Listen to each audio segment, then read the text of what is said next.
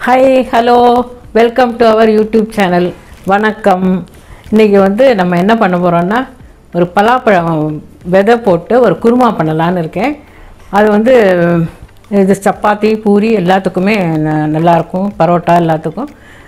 என்னென்ன இன்க்ரீடியன்ஸ் வேணும் எப்படி பண்ணணுங்கிறத பார்த்தீங்கன்னா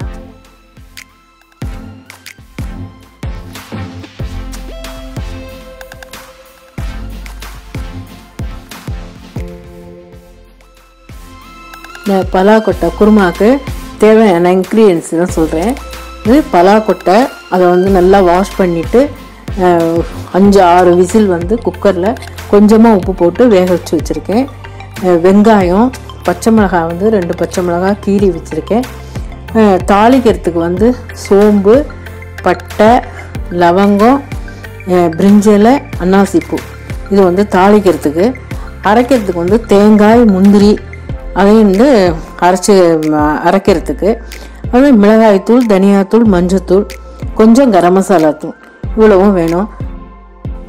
ஒரு கடாய் அடுப்பில் வச்சுட்டு நல்லா குக்கிங் ஆயில் கொஞ்சம் ரெண்டு ஸ்பூன் ரெண்டு டேபிள் ஸ்பூன் குக்கிங் ஆயில் போட்டணும். போட்டு ல இது சோம்பு லவங்கம் பட்டை பே லீஃப் எல்லாம் போட்டுட்டு நல்லா பொரிய விடணும். பேலீஃபு எல்லாம் போட்டு நல்லா பொரிய விட்டுட்டு வெங்காயம் போடணும்.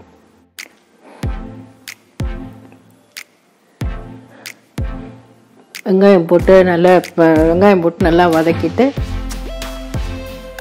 நல்லா டேஸ்டியாக இருக்குது நல்லா இருக்குது நீங்களும் செய்து பாருங்கள் பச்சை மிளகா ரெண்டாக கட் பண்ணி ரெண்டாக கீறி ரெண்டு ரெண்டு பச்சை மிளகாய் போட்டிருக்கேன். நம்ம காரப்பொடியெல்லாம் போடுறதுனால பச்சை மிளகா காரம் அது போதும் இது வாசனைக்காக தான் அந்த பச்சை மிளகா. நல்லா கொஞ்சம் வந்து இஞ்சி பூண்டு பேஸ்ட்டு ரெண்டு ஸ்பூன் போடணும். இஞ்சி பூண்டு பேஸ்ட் நல்ல வாசனையாக இருக்கும் அதுக்கு டேஸ்ட் இருக்கும். அது நல்லா போட்டு அது பச்சை வாசனை போகிற மாதிரி நல்லா வதக்கிக்கணும் எண்ணெயில். அது அது நிறைய அடியில் ஒட்டும் கொஞ்சம் நல்லா கொஞ்சம் கலரி நல்லா இது பண்ணிக்கணும் வதக்கி விட்டுக்கணும். வெங்காயம் இஞ்சி பூண்டு பேஸ்ட்டு இந்த மசாலாலாம் சேர்ந்து அரோமாவே நல்லா இருக்குது வாசனையாக இருக்குது பச்சை மிளகாய் நல்லா வாசனை என்ன இருக்குது இப்போ கொஞ்சம் கொத்தமல்லியும் புதினாவும் போ இந்த வதக்கும் போது போட்டால் நல்லா வாசனையாக இருக்கும். நான் அடியில் ஒட்டுங்கிறதுனால கொஞ்சம் நல்லா தே சுரண்டி சுரண்டி இது பண்ணணும். இல்லைன்னா கடாயில் ஒட்டிக்கும் அது. பச்சை இஞ்சி பூ பேஸ்ட்டு.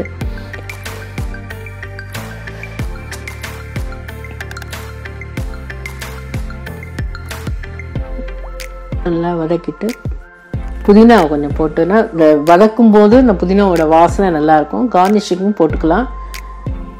இப்போ வந்து புதினா வாசனை நல்லா அதில் இருக்கும்.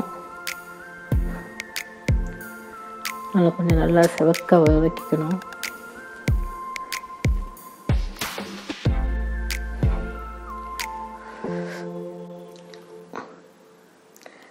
மஞ்சள் மஞ்சள் பொடி வந்து கொஞ்சம் ஒரு கால் டீஸ்பூன் மஞ்சள் போட்டுக்கணும். ஒரு ஸ்பூன் ஒரு டீஸ்பூன் மிளகாத்தூள் போட்டுக்கணும். அவங்கவுங்க காரத்துக்கு ஏற்ற மாதிரி போட்டுக்கோங்க. நான் ஒரு ஸ்பூன் போட்டுக்கிறேன். தனியா அப்படியே ஒன்றரை ஸ்பூன் போடணும்.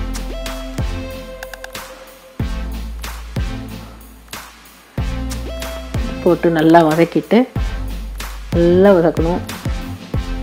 நல்லா பச்சை வாசனையெல்லாம் இந்த எண்ணெயிலேயே இதுவாகிடும் பொறிஞ்சு.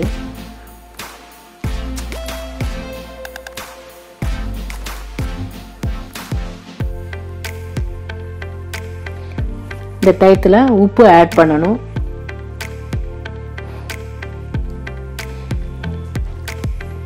இந்த டயத்தில் உப்பு ஆட் பண்ணிவிட்டு கரம் மசா தூள் அரை அரை டீஸ்பூன் கரம் மசாலா தூள் போட்டிங்கன்னா நல்லா வாசனையாக இருக்கும். இப்போ வந்து கரம் மசாலா தூள் ஆட் பண்ணிவிட்டு இதுக்கு வந்து தயிர் ஒரு கப்பு தயிர் போடணும். அதை இதில் மறந்துட்டு அந்த தயிர் ஒன்று போட்டால் அது வந்து அதோடய புளிப்பு தன்மை அது அதோட வா இதுவே நல்லாயிருக்கும் தயிர் போடணும். ஒரு கப்பு தயிர்.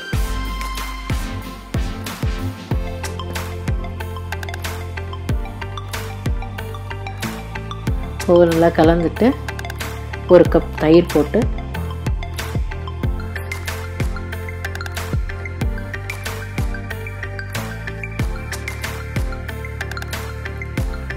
குருமாக்கு தயிர் போட்டால் நல்லாயிருக்கும் இது வந்து காரப்பொடியெலாம் இல்லாமல் நம்ம பச்சை மிளகா தேங்காய் முந்திரியும் கொஞ்சம் வச்சு அரைச்சிட்டு இதில் சேர்த்தோன்னா அது ஒயிட்டாக இருக்கும் அந்த குருமா.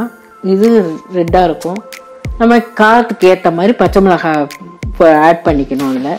இது நம்ம வெறும் தேங்காயும் முந்திரியும் மாத்திரம்தான் போட போகிறோம் அதுக்கு அரைச்சி ஊற்றுறதுக்கு அது எந்த விதமும் அந்த டேஸ்ட்டும் நல்லாயிருக்கும் இதுவும் நல்லாயிருக்கும் நல்லா பாருங்கள் எண்ணெய் பிரிஞ்சுட்டு ஓரமெல்லாம் எண்ணெய் பிரிஞ்சுன்னு நல்லா கிரேவி மாதிரி ஆயிடுத்து இப்போது நம்ம வெந்து வச்சுருக்கோம்ல அந்த ஜாக் ஃப்ரூட் சீடை அதை போட்டுட்டு அதையும் போட்டு நல்லா பெரட்டி உப்பு காரமெல்லாம் அதில் நான் கொஞ்சோண்டு உப்பு போட்டு தான் வேக வச்சுருக்கேன். இப்போ இந்த உப்பு காரம் இந்த எண்ணெய் ஆயில் இந்த இதெல்லாம் வாசனை எல்லாம் இது பண்ணிட்டு நல்லா பெரட்டிட்டு அப்புறம் தண்ணி கலந்துக்கலாம்.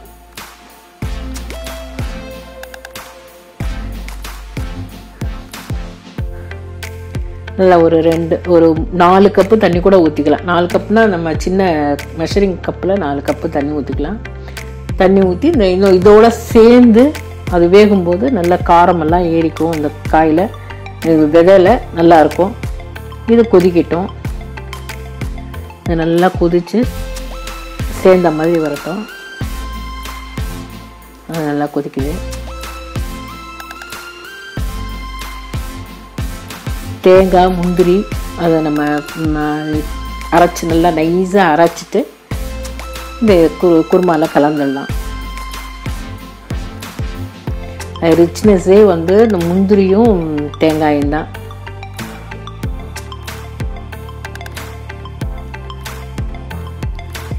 இது நடந்து கலந்துட்டு கொஞ்ச நேரம் கொதிக்க விட்டால் போகிறோம்